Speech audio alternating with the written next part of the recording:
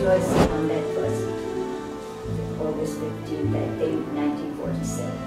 And these are all Anglo-Indian schools. All Anglo-Indian schools. I think this generation, my generation, and the older generation, that's my parents' generation, we should all ensure that our stories don't die. Because with that, an entire chapter, if not chapters, are going to be wiped out. You know, there'll be small families here and there, okay, in Calcutta and Bombay,